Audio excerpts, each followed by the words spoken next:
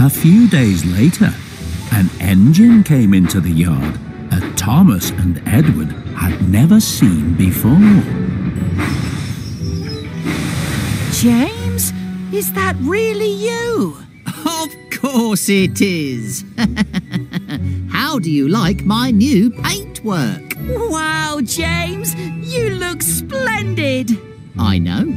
I'm ready for my coaches. We're Thomas's coaches now, James. That's right. And he's got his very own branch line, too. Off to see the world now, Thomas. yes, Edward, I am.